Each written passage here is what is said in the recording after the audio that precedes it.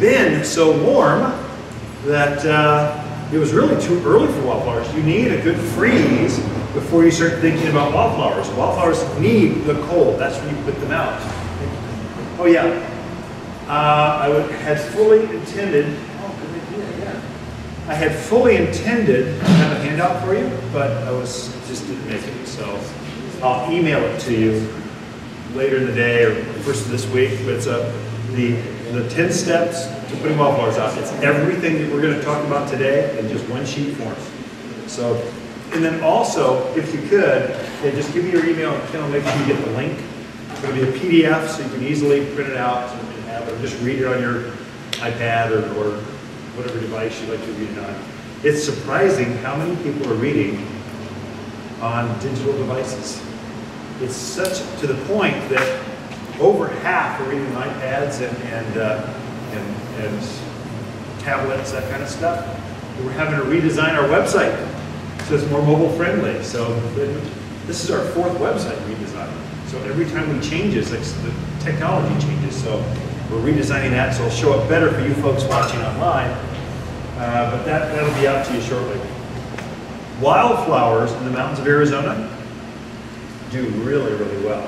I mean, really better than, I mean, the folks in Phoenix, Scottsdale, Palm Springs, the Southern California deserts, they wish they could grow wildflowers. They can't. They do a few mixing daisies and a few things, but not wildflowers. Not like we have in the mountains of Arizona. And so I'll go over the mixes, what to look for in the mixes.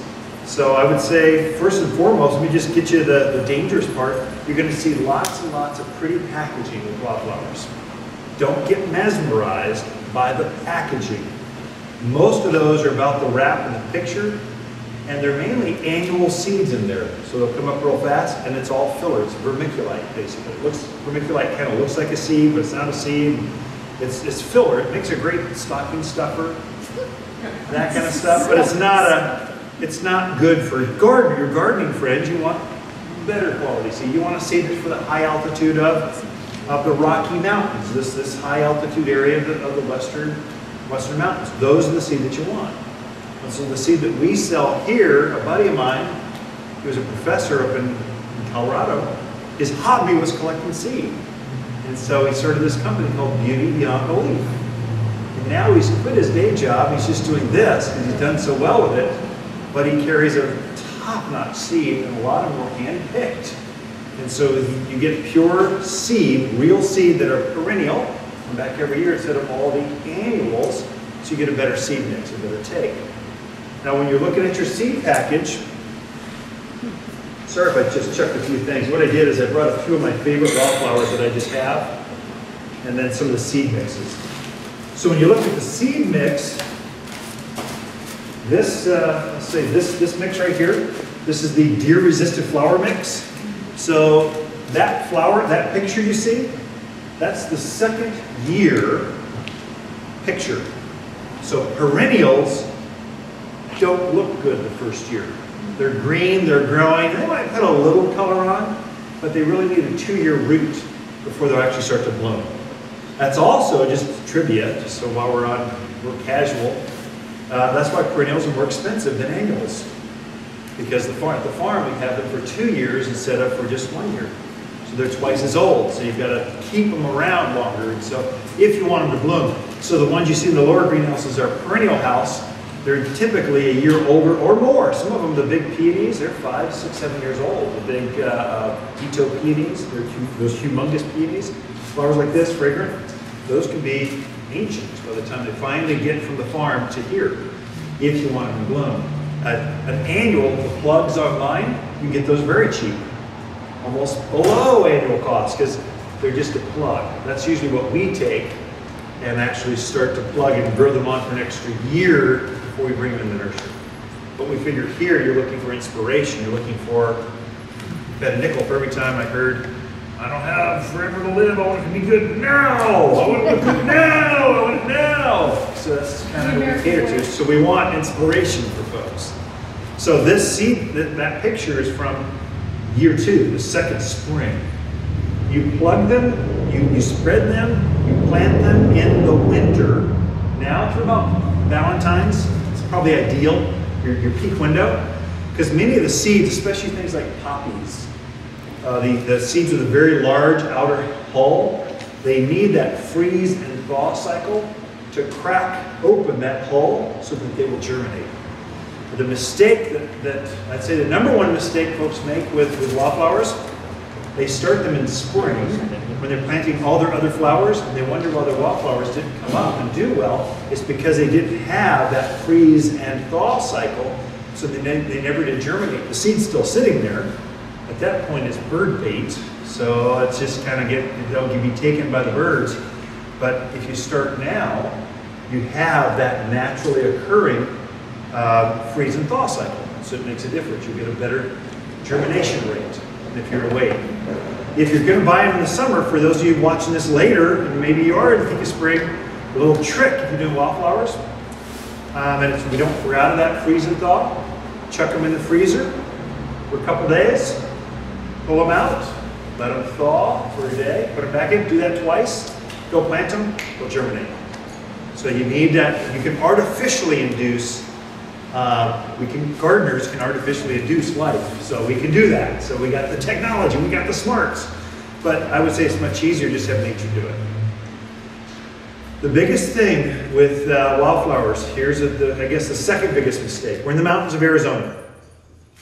And so we've got these hillsides. We had some erosion control. We're thinking I can take this package of seed for $22, covers like thousands of feet. It's pure seed, it's good seed. I can just chuck them over the hill and they will magically come up. That's not the way it works. Well, in nature, that's the way it works. In nature, they have millions of seed and only 1% comes up. If you want a 1% take, that's fine, but that's, that's expensive to put out. You, you want every one of these seeds to germinate and come up and flower for you. So I'm going to give you that insider tip of how to make sure all of the seed germinates and does well for you and blooms. Okay.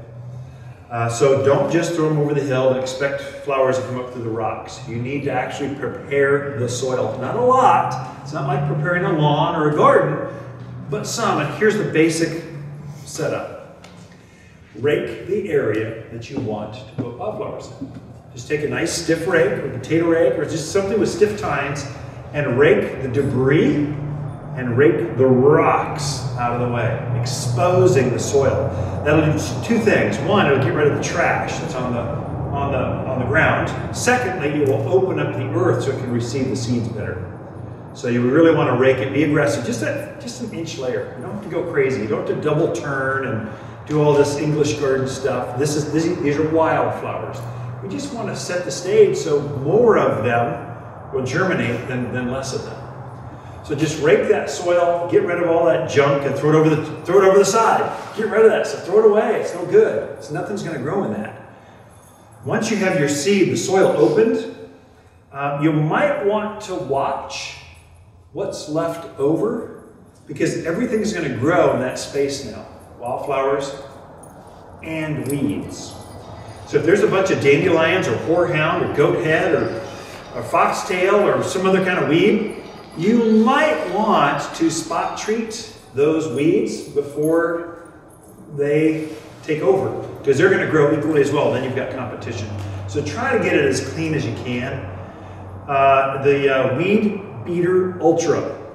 That's the weed killer you want to use now while it's cold. It's the only one that works when it's cold out, especially at the higher altitudes. It's in the store. It's a, it's a broadleaf weed killer. I just sprayed some in a, in a property I've got and things are already wilting and dying. It's only been three days. So a glyphosate will not even touch it. A Roundup-based product, not e don't even bother right now. It's not even going to remotely uh, uh, try to try to work. It's too cold for it. So the Weed Beater Ultra is kind of the competitor to that. It's, it's a newer technology, newer salt-based molecule that, that the plant will absorb it and take it in better. It kills the roots and all. Okay. The other one to watch right now, we've been recommending fertilizing everything. We've been recommending putting weed and grass preventer down. That's your, those two things you put down now to keep the, the winter weeds from germinating.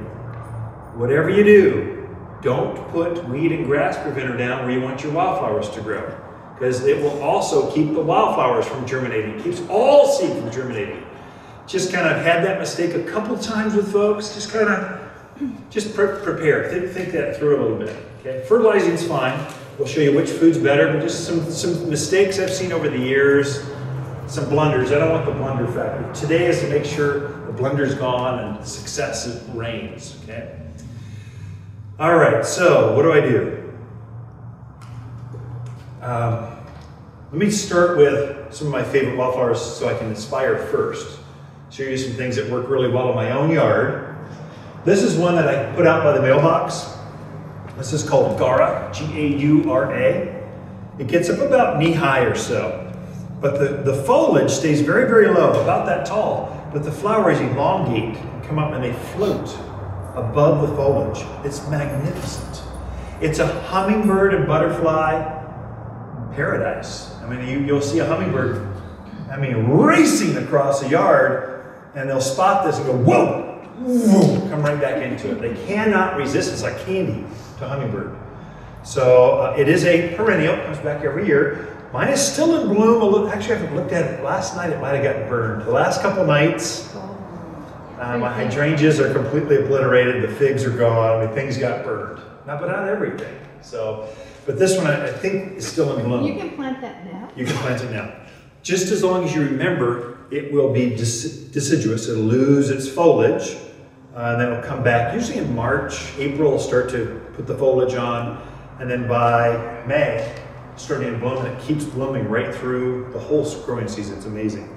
Then you can plant it now. If you're planting now plants, just make sure you water through winter. That's the biggest, that's the, if you planted a lot summer through fall, make sure you water those plants because they're not fully rooted yet. And they will use moisture, so they will actually still, we don't truly shut down here. We're so mild, which is why we live here, right? Uh, so just water a couple times a month. That's all it takes. Yes? What's the difference between a wildflower and a native plant? Wildflower and a native plant, hardly anything. The same, they're about the same thing. Yeah, Oh. they can be the same thing. Because there's a lot of things like Cara and so forth that are, and, you know, like the verbena and all that kind of stuff that are considered wild, are considered native plants for like zero planting, but I never knew they were also wildflowers. Yeah, yeah, very much. Wildflowers and native plants can be the same thing. If it's pretty and it's blooming, it comes up by itself, I'd call that maybe not native. Native, most of the natives, quite honestly, are ugly. I mean, you don't want them in your yard. I mean, you clear them off, let's face it. But there are some that are glorious. And there's some that are tough in other parts of the world, like Russian sage is our most famous. That's an Afghanistan plant. A Russian general found it while attack while trying to take over the planet in Afghanistan. He was a gardener, and he found this Perovskia, whatever it is, it's got a Russian name. That's why. But it thinks it grows in that five to six thousand foot level of Afghanistan. Well, they brought it over here and went, this thing is like a weed, grows like crazy, and it can be a weed sometimes. You let it go. You got to keep things in check. This one, you're never going to have just one. I now have three out by the mailbox. It keeps spreading. And that'll be fine. I'll let it spread until I don't want it to spread anymore, and then I'll take a shovel to it and I'll go, okay, you're either gone, I'll give it to friends, I'll throw it in the trash can, or I'll plant one in the backyard. I'll decide at that point. That's just gardening, keeping things maintained. But is a great wildflower. Just wanted to show it to you. And it's best done by plant, not by seed. This one, is, we, we actually take cuttings on this one to actually grow it. Um, this one, not really a wildflower. I treat it more like a shrub. This is an evergreen euphorbia. E-U-P-H-O-E-O, whatever. You can look at the tag later, euphorbia. It's an evergreen perennial. This is about as, this is fully mature. I like it in my flower beds, out my raised beds and stuff, because it actually keeps something looking good in the garden, because it's evergreen. And javelina don't eat this. The rabbits don't eat this. They don't eat the uh, garlic either. They leave it alone. It's a great, great flower. And so this one does get a flower on it. It's kind of a funky flower. It, it looks like this foliage, only it's like a Dr. Seuss plant. It's very unusual, really neat looking. But the reason the javelina don't like it, it's got a, it's related to poinsettias. Is also euphorbia. When you break it off, it's got a real milky uh, sap to it, which make which I'm sure makes it taste bad. They don't like it. But, but euphorbia is a great plant. Um, a weed. This one will take over your garden if you're not careful. I've got this underneath my juniper trees because I've got this big, beautiful spot. I pruned up all my junipers so it would expose the bark and they uplit the bark and it's beautiful. I got art in front of it and it's beautiful. But it was kind of, junipers have, are kind of trashy. They're always throwing stuff down so they, they suffocate everything underneath it. Very few things will grow underneath a juniper, but this will. It's a nice low growing evergreen plant. I just let it go and then it gets some blue flowers on it. It's nice evergreen. But this one, uh, don't put it in the middle of your flower bed or nothing will be left except vinca. But off to the edge where it kind of gets abused, right there where the irrigation just stops, that's the place where you put your evergreen vinca or in a pot so you can contain it. It wants to creep, root, form another plant. So it keeps forming, keeps spreading throughout the yard. Easy to transplant. Just shovel, pop some out, chuck it someplace, and it'll start to grow. Yeah. Okay. This is probably my favorite. It's called Jupiter's beard. It truly is a wildflower. Um, if you can grow this one by seed very easily. Um, this one, be careful, it will reseed a lot of different places. This one you want to plant at the top of the hill, and then the seed will spill down and come up down there in places. Jupiter's beard blooms all summer long. Mine has been in bloom until that last storm wasn't a storm, until it got cold two nights ago. And now it's going, it's starting to, to hibernate at the root zone. But Jupiter's beard is a great drought party. I mean, no water, no care, just dirty looks and speaking bad to it. It does, it just blooms and blooms. Unfortunately, I broke it. Jupiter's beard. Every yard should have at least one snapdragon. Mm-hmm. I know it doesn't look wildflowery, but it is tough. The javelina rabbits don't eat it, so it's a great look. Isn't that pretty?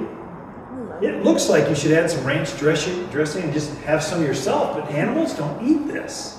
And you never get just one. It seems like there's always more coming up magically. Uh, this, this one in tomato plants, where do they come from? They just start coming up in places that you didn't expect them. So that's kind of like that. So, okay. And then one that we sell as an annual, but I've had it perform for me like a perennial. This is uh, Dusty Miller. I've got some that are three years old now. They're up above knee high, about this big, so maybe two, three feet high, two and a half feet high. Solid silver, just solid. And then it's, it's covered in yellow flowers. If they're more mature, they just have this beautiful yellow flower that hovers above all this silver. It's very pretty, very Arizona looking kind of plant. And animals don't eat this. So javelina, I put it out there where the javelina roam, and they seem to leave this one alone. It's like bulletproof. It's because it's got a real uh, textured foliage to it. That's a great little plant.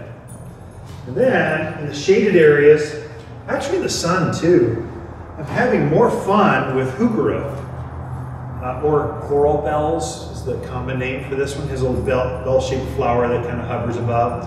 Evergreen, I like to plant this one at the base of my trees, where the emitter, where I'm watering the trees for my uh, the, the drip system. I'll put it right there. I can water this in the same cycle, cycle or frequency that my trees are. And this one will fill in and give me this underplanting so it doesn't look like my trees are growing up out of the rock. You know, it looks funny having crushed granite right next to your trunks. It looks more natural to have an underplanting. Uh, but this one is not, you know, it's from fire-wise. It doesn't take over, it doesn't get too big. It gets about maybe just about ankle high. And that comes in different colors. Burgundies, coppers, greens, yellows.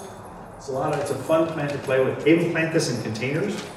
It will eventually get this humongous, uh, just solid mass of that. It's really pretty. This looks good year round. Okay. Two more, and then we'll move to the actual seed and the demonstration.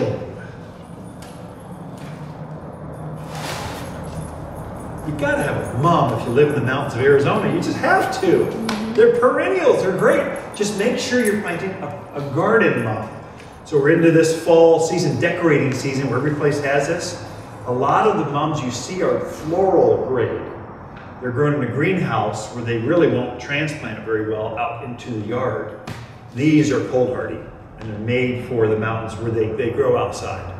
So, but I've got some of these, these and asters, kind of companion plants to each other. I've got some that are ancient, three, four, five years old, they keep coming back consistently. They're just great little perennial flowers. You count on them. And I don't make them complicated. I don't try to deadhead them in midsummer, so I keep more compact. They're garden mums. I just let them do whatever they want to do. And typically they'll bloom twice for me. Usually late summer or the middle of the monsoon season, then they'll push some more growth and they'll have another set of flowers out, out in my own gardens. Kind of depends on the year, but frequently. And then don't count out. A lot of us have Mediterranean or uh, uh, southwestern kind of gardens. Herbs fit that kind of garden very, very well. So don't discount your lavenders, is what this is, rosemaries, uh, oregano, thyme. I've got lots of creeping thyme because it stays low, it blooms often, and I don't mow it hardly. So we've got entire lawns built with nothing but thyme. It's a great creeping, creeping kind of thing. I think this is uh, English. I don't know. Let's see, I've got a tag right here. We can tell you. This is a Munstead English lavender. It's the hardiest of all the lavenders. Hardier than the Spanish. English is, is the hardiest, then it's French, then it's Spanish. But they all grow here. Could you use that for culinary? Oh yeah, I absolutely use it for culinary. Absolutely. Okay, but it's just again, I've got I've grown that in a in an oxblood red pot about this big. Thing is glorious. I mean, it is spectacular. It's designer-esque. I mean, just beautiful. It's right at the front door where you walk in going, I'm so glad you're home. Welcome. It makes you feel like that as a gardener, you know, tickling the inside. Yeah. I've got that growing in the in the in the ground. I'm curious to know, do, is that something you trim back, or you just You do trim it back. You do winter? trim back most of your herbs, or they'll tend to get rangy. Keep Right. them more formal looking. right? I'm just gonna move this back here. Um, but I wouldn't prune it back until after the cold of winter's done. So wait until like March, Okay. April. Let, let, you wanna keep that foliage up. This is most perennials are this way. Keep the foliage up so it insulates the core, of the heart of the plant. And then after the cold is done, typically after about Valentine's, we're done with winter. I mean, stick, it can still snow, but that bitter, bite through your bones kind of cold, that's done. And so then you start trimming up. Most of my pruning I do myself. Most of it's in late February, March. So I do most of my pruning, especially herbs. Okay. Yes, this is my work wheelbarrow. It's not a brand new one. Okay, it's, it actually gets a workout. Um, Generally, I'll use Watters mulch, but any compost, screen down to half inch minus. You we don't want big chunks, we want small stuff. Uh, I happen to have this bag of potting soil, which is actually better, kind of overkill, but it was it was open, so I thought, "Oh, I'll just take that up there. Uh, so, what I'll do is I'll just dump a bag of whatever your favorite thing is. Don't use manure. But mulch, compost, topsoil, any of those, that's good. Okay, and I'll dump that in there. What I'm doing is I'm setting the stage so that when I read the bag, let's say I've got this Arizona wildflower mix, one we helped put together for here. It's a great mix for low care, shorter but showy flowers. Um, it says it covers like a thousand square feet. How are you going to spread that seed a thousand feet? I, I can never, once you put them down, wildflowers are so tiny you can't see them. And so what I do is I'll blend them into a bag of organic. So it helps me two things. It helps me to spread it more evenly so I can see where I've put it. Secondly, um, it helps to make sure that I get germination. So I get more ground to seed contact. Some of these seeds are very light, airy, almost like feathers, so they want to float. So this tends to get them to touch the soil better, so I'll get a better germination rate. And third, most importantly, you don't want the world's most expensive bird seed out there. So it helps to hide the seed underneath the ground so the birds can't, at least they got to work for it. And birds will get some. They'll, they, if they're really diligent. But they're out there foraging midwinter. They're desperate. Some of them are truly desperate. They're looking for seeds. So you just sort of throw them out on the ground, they'll all be gone. The other one I found is um, if we get a real heavy rain and you've had it on a hillside, I've had quite a few customers over the years. Their neighbors have this beautiful wildflower patch because the rain got them to go from here down to there. And so if you put them in some mulch, it helps to keep them locked. It helps to lock them into place. Just just some school of hard knocks that we've kind of learned over the years. Okay. So for this, I thought I would take two things. I've got I thought I'd take this drought hardy mix. If you just want to spread something and not water it or do any care, drought hardy. It's a great one. Okay. The Arizona mix, you'll probably want to sporadically spit on it every once in a while or pray for more snow and rain. That'll kind of help it. It needs some care, uh, but the drought hardy, it, it'll just go by itself. Then I thought I would add some poppies, which is probably our most famous of all of the wildflowers that we, we grow here. It's the one that seems to everyone talks about. This one's got Coreopsis, Gaillardias, and some poppies, but I wanted to front load it with more poppies. So you can, if you like red, you could add more red penstemons or red, you know, you can add more red. If you like pink, you can, I would say skew the mix and make your own mix that looks the way that you like to see it. So these two, all I do is I just, open up? I'll just sprinkle that in. And then what I'm going to do is turn it all together. And that's what I'll spread is this mix. So I'm actually making my own hydromulch, basically, is what, what we're coming down to. Is there any particular side, you know, north, south, wherever? Yeah, good question. Um, so where do seeds do better was your question. Is there a better place, north, south, east, west? Uh, generally speaking, flowers do better in the sun. They need that photosynthesis to make more flowers, make the sugars, to make the, the, the seed heads. So I would say at least six hours of sun would be ideal or more. If you've got less than that, there's specialty seed mixes in there that are shade loving, um, that kind of thing. But what I notice is our, at this altitude, the, the mountains, the sun is so intense that even the reflective sun is enough to make things bloom. I'm surprised at how little sun our sun plants will take. It's because the sun is so intense.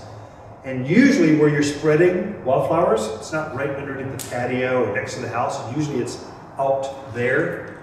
My guess is most of them are going to do really well out there, including the forested areas like Forest Trails, Timber Ridge, those areas. You guys have a lot of pine trees. But by morning to sun, even with that filtered, filtered shade, there's enough sun hitting that part of the garden throughout the, throughout the day that it's usually enough to get them to bloom pretty well for you. In addition to this, let's see if I brought it. Yeah, I did. Oh, good. I was in kind of a rush. Christmas trees are in. This is, uh, yeah, let's put it all in. This is uh, Aqua Boost crystals. This is a water holding crystal. Um, what it's going to do is keep the roots moist so that I get better uh, root take. I'll get more roots too because we've infused these crystals with mycorrhizal fungi, which uh, now, now we're really into it. Mycorrhizal fungi are, are naturally growing in your garden. And so what they do is they feed the roots, they encourage uh, rooting of the plants, where the plants go, oh, there's mycorrhizals. Um, the, the, the soil's alive. It must be okay to root here. Let's just root and grow. So it tricks the plant into rooting deeper and more, a larger root mass. So it's a naturally occurring thing that feeds off the organics. But anyway, you got seedlings and you want more roots.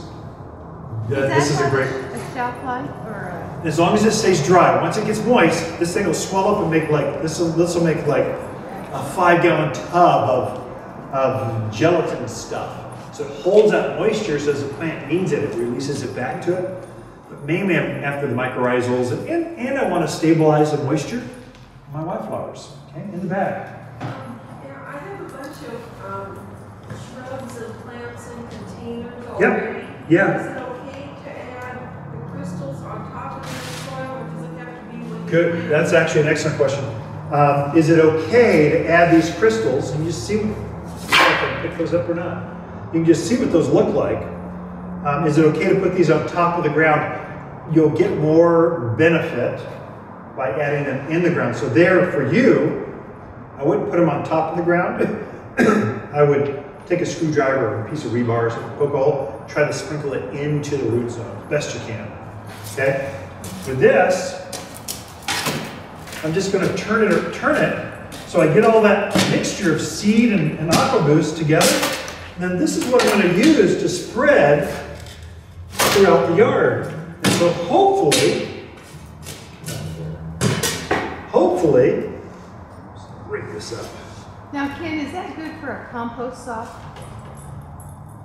Compost what? Sock. Um, That's, you can make like your own bed. your tea and tea and stuff? Or, No, oh, no, no, it's like a removable border. okay. 'Cause I Yeah, had terrible soil. yeah, all of so us I'm do. trying We live in to- the mountains. I'm trying to it with that compost. You Yes. just- It's uh, deflated and then you put your soil in it. I use AquaBoost, what I do in my own gardens, my, my own personal gardens, I buy the biggest container, the quart size, every year, every spring I add it. Uh, and every time I plant, I add a little bit of AquaBoost into my containers, raised beds, trees, river planting. I just did a huge planting for uh, a, camp up Iron Springs Road. I mean, there's hundreds of trees. We gave them 10 bottles of AquaBoost so that, because I knew that in a commercial setting, they're gonna not care for things as well as, as maybe you would in your own personal gardens, because it's sheer quantity. And so I wanted there to be a, a, a better take, and so that really makes a difference. So I always add it every time. But especially things like this, lawns, wildflowers, you're putting your new vegetables out, really, really helps with the germination rate. And in spring, it's really dry and windy, so it helps to regulate the moisture out in the soil. Yeah, Do those AquaBoost crystals just once you put them in an area, is it forever or No. it break down? it's not forever. Aquaboost crystals, they say, last for five years. I found it lasts for about three years or so. It kind of depends. Uh, you will find some in there, but they find they break down. So, yeah. So when you get all done, it's looking pretty good actually. A little bit more. So with this, after I'm all done, you can see the mixture. I'll spread this out in the garden as best I can. And then what I'll do is I'll take my same stiff tine rake, I'll turn it upside down so I've got the bar there, and I'll scooch it as best I can and just spread it. Helps to spread it even more. And so that technique, blending it into a bag of compost, here I use potting soil, put your favorite seed in, add AquaBoost, um, spread it, and then scooch it as best you can, and then just watch it, sip tea, bake cookies, and watch it grow. And then, here's the other thing I've noticed, especially for you folks that have gardeners. Uh, how do I be sensitive with this? Gardeners, well, you don't have a gardener. You probably have a mow and blow guy that just comes in and butchers the yard once a week. As wildflowers come up, they kind of look weedy. It's hard to tell. Is what is that? Is that a weed? Is that a flower? What- Until it's grown up and you start to see it to bloom. So make sure you instruct them. Don't touch this part of the garden. Don't stay away from that. I'll do it myself. I want to kind of watch that. So I've had more folks, husbands. I've seen that one where they got the brand new, they got a new uh, weed whacker. They love using their equipment. They can't stop. I mean, I love my chainsaw. Man, once I get cutting, I can't stop. Uh, make sure you guide whoever's watching that you don't let them mow it down. So just kind of, I've heard that way more than once, where it was growing about to bloom and they got whacked off. So just kind of watch that. When they'll come back, I'll spread this out. When I'm all done, I'll add a fertilizer right on top. I'll just spread it as thin as I can. Usually I'll have my hand spreader and I'll just sprinkle it around that area of the garden. Uh, and I use the all-purpose plant food. That 744 fertilizer, I'll just put that down and, and that's pretty much all you're gonna do with that wildflower section. So you're raking it, you're blending up your seed, you're spreading it, you're fertilizing, and that's it. I, I would probably myself water it in with a hose just so I get the seed to kind of get into the soil. I'm trying to mainly hide it from the birds. Birds are ferocious when you do wildflower. I'm just try to get it in the ground so it's it's it's it's camouflage better. Questions on wildflower? You're basically an expert. So that that's kind of I'll go over grasses here in a second and show you how that. Yeah. We seem to have a problem with like once things start sprouting and growing up, it's either ground squirrels or mice overnight or rabbits. Something just eats Even it all. quail, quail are notorious in spring. They they like eating seedlings. So that's one if you have a lot of vermin. So mice, vole, there is a ground vole or field mice um, that, that can't eat them. Okay, overnight would be a, a, a- mammal of some sort, small chipmunks or something like that. So if that's the case, get a mix because they'll have their favorites. So they'll tend to leave leave one some alone and they'll eat the other ones. So they generally don't like gaillardias, echinaceas, and that kind of stuff. They don't generally like Jupiter's beard, things with a heavy milky scent to it. So herbs they'll generally leave alone, generally speaking. So kind of watch that one.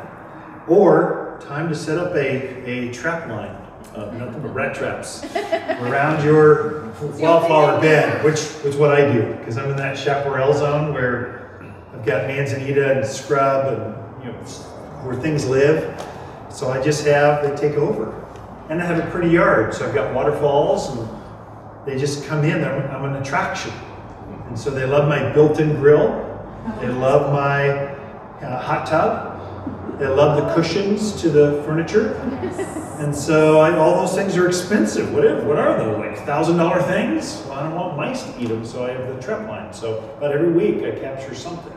Do rabbits get into the seedlings? See, they can, rabbits can get into them. That's where it's, I'm not sure. Um, yeah, they're, they're gonna like a smorgasbord. So- Yeah, shotgun and some barbecue sauce.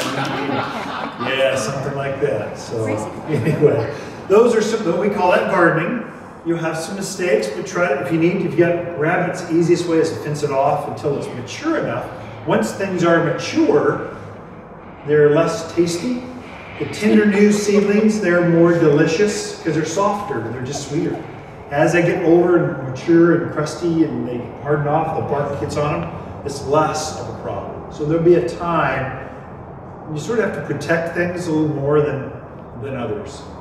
So watch that. Yes. Um, what about planting in a pot? Wildflowers, I generally generally seed. I haven't done wildflowers seed in a pot. I generally will do plants because you've got a defined space, and so you can afford to do, you know, three plants fill up a potty. I think a pot. Uh, out in the yard is more economical to do seeds because you get so many more seed out there. It just takes a little longer. So, when in a container, I like to I like to plant. I mean, easy, easy container gardens. Shoot, there's so many choices. You've got a container garden just like that with three plants. You just make it go. I like using this one a lot. This is kind of my new favorite plant. Just makes a makes a pretty container garden. So Gaura, that's Gaura, Heuchera, the coral bells, and Vinca. I use I use all three of these in my own pots. I've got over 50 pots at home. I do a lot of container gardening because I live on a north slope above Eagle Ridge. That's like heavy clay. It's the hardest gardening I've ever done. So everything is either raised beds, where I've taken the hillside and just put retaining block in the backfilled, or pots. That's kind of how I garden. Yeah. Um, I a new landscaper last year.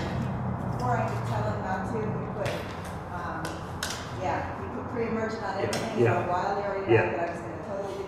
Yeah. So my, my neighbor, who's a, um, master gardener, said, you know, you, I said, I'll seed them inside, they'll never work. They Oh, did. oh, good. They seeded in, I did it in January, February. They Excellent. seeded inside, um, and I had a lot. Yeah. So I transplanted them when they were this high, and she said, they'll never transplant. Well, hers, about two months ago, she had, her gaillardia gone. My gaillardia that never was Nice. transplant is this high, and it's still blooming. So Nice. not probably the best, but I couldn't believe how well they seeded. So she, she, for those who couldn't quite hear it, or those online, Um, she started wildflowers inside. That's now, first of all, I never tell a gardener what they can or cannot do because they always can prove you wrong. Where there's a will, where there's a green thumb, there's a way. And so a master gardener told her she couldn't plant wildflower seed inside. She said, mm-hmm. "Gardener, I'll show you." And she, they all they're a seed. They'll germinate every time. Every seed will grow inside.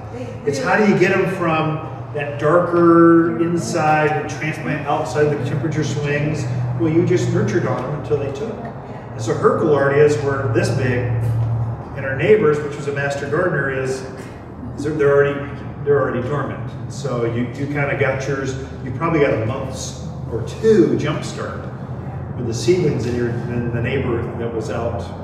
Anyway, you can do that. Like I've never told a neighbor, a gardener, what they they can't do because every time they'll, I can't grow palm trees. I'll show you. Throw a saguaro up here. I'll show you. Yeah, that.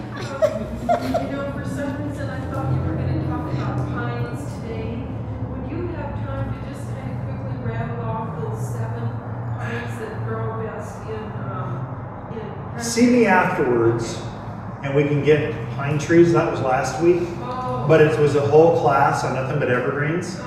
And we could have a side where I can give you a real quick uh, uh, uh, tutorial. Mainly, it's look walk around the garden center, and we're, we've loaded up on evergreens because that's what people are buying now. So we, we have plants year round, and so but it's mainly evergreens now. These things are people people don't buy twigs in a bucket. They like they like foliage in the front.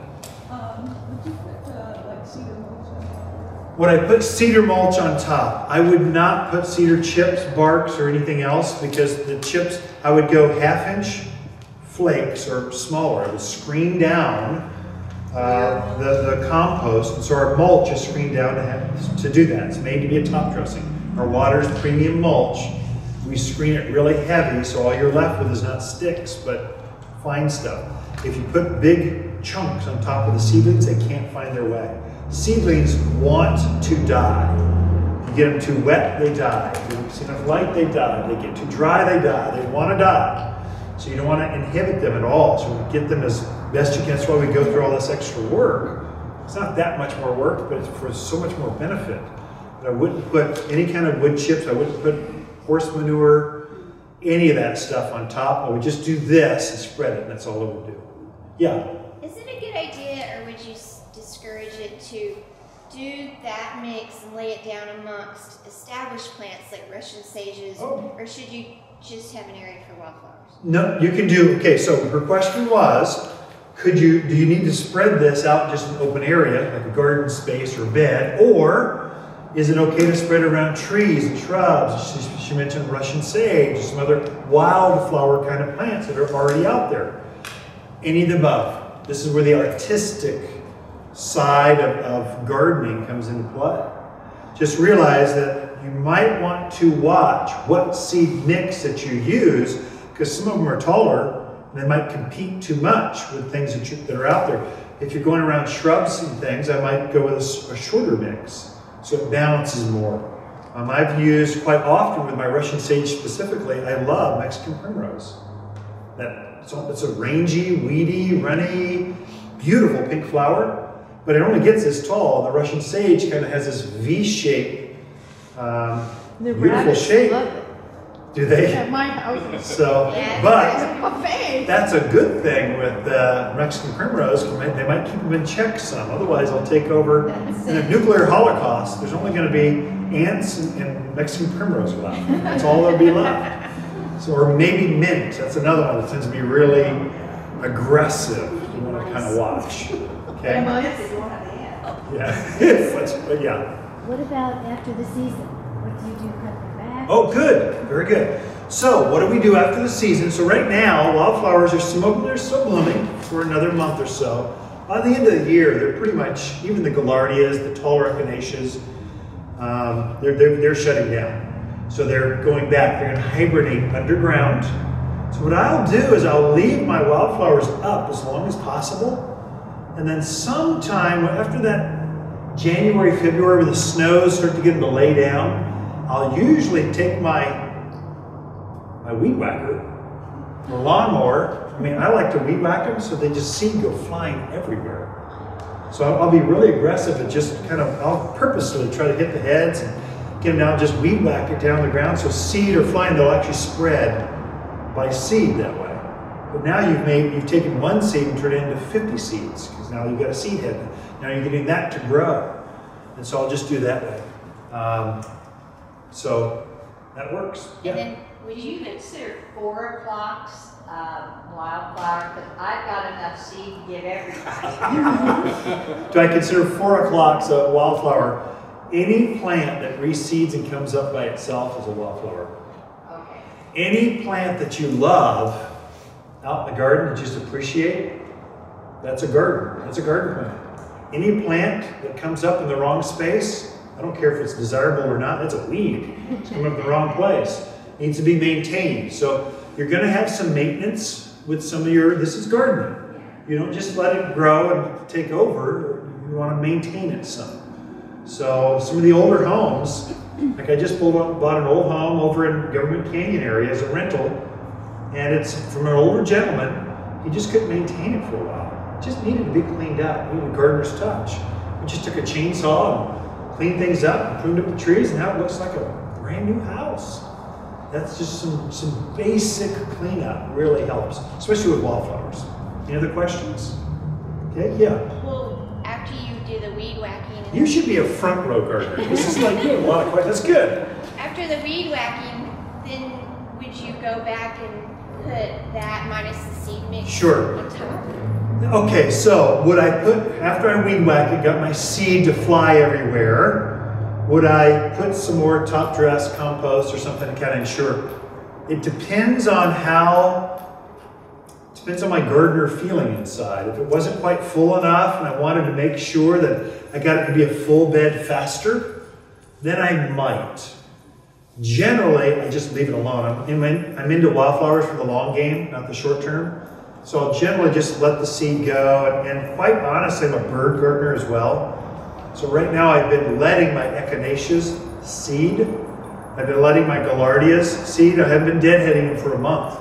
Just so they'll put on extra seed heads so that the birds have something to eat this winter. Man, I'm being purposeful with it. So I'll have a lot of birds. I put um, autumn joy sedums in my backyard, a lot of them. Because the early, early spring, when they're first coming up, the birds are absolutely desperate. And so they'll use that as a food source and make the plant look terrible.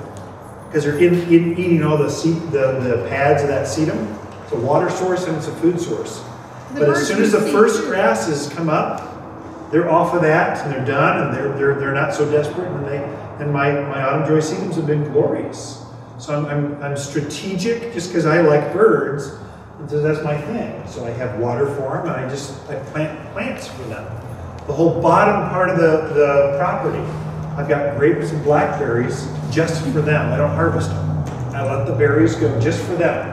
And the berries up closer to the house, those are mine. If you eat them, I will come after you. And so I've got, we've got this partnership that we do, the birds and I. But we have a lot, so many birds, it's almost ridiculous.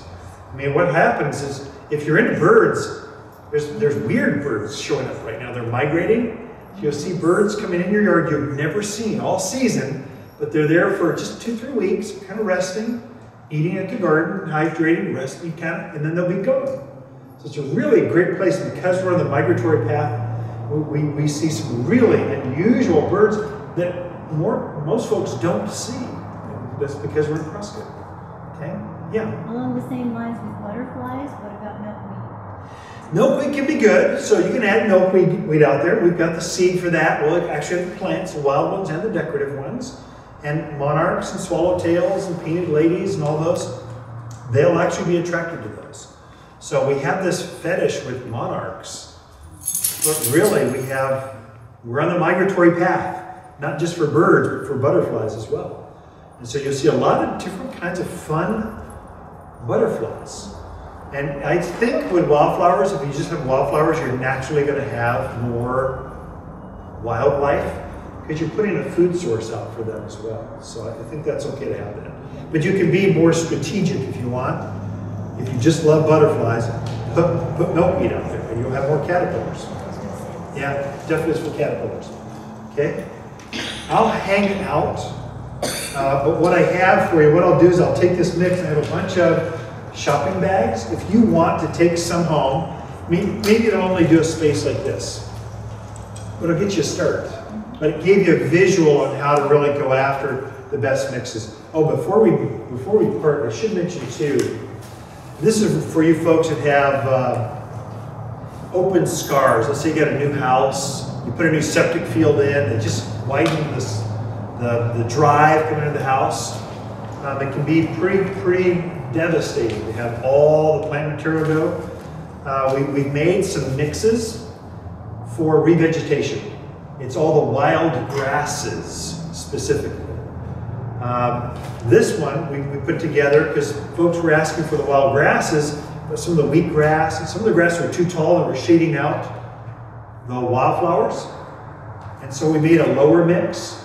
So this is buffaloes and blue gramas, low grasses, Indian rice grass, low grasses, and mix some, some wild flowers in with that so you get a meadow look to it. But we have two or three different grasses, just grasses.